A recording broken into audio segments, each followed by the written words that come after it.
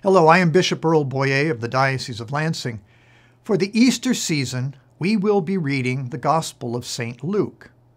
In fact, St. Luke wrote both a Gospel and the Acts of the Apostles. So we will read the Acts after the Gospel, and that will take us through Pentecost. These two books by Luke account for almost a quarter of the New Testament written sometime in the 80s AD, tradition has ascribed these works to St. Luke, a companion of St. Paul, and a physician.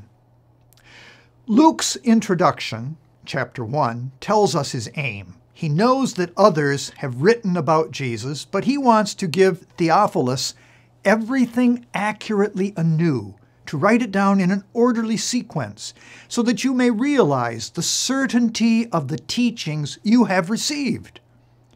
Luke wants it clear that God has been acting consistently from the time of creation.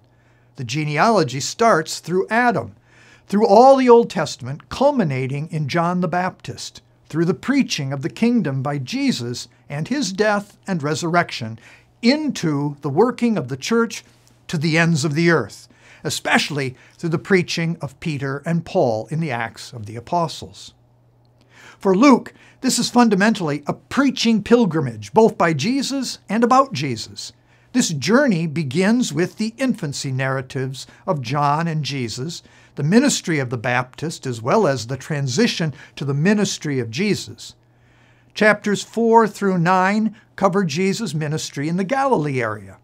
Luke then has a special focus on the journey to Jerusalem.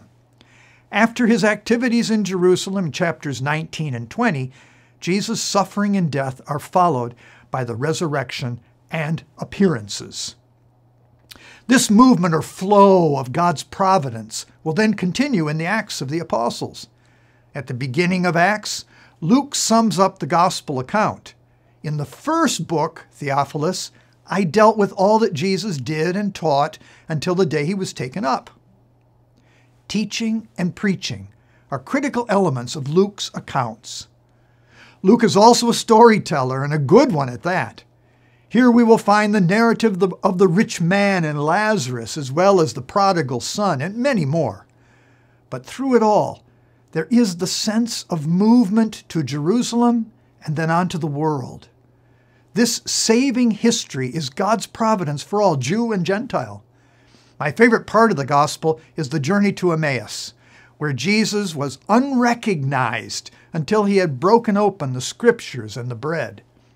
I hope in this Easter season that Luke's gospel will break open an encounter with the Lord Jesus for all of you as well.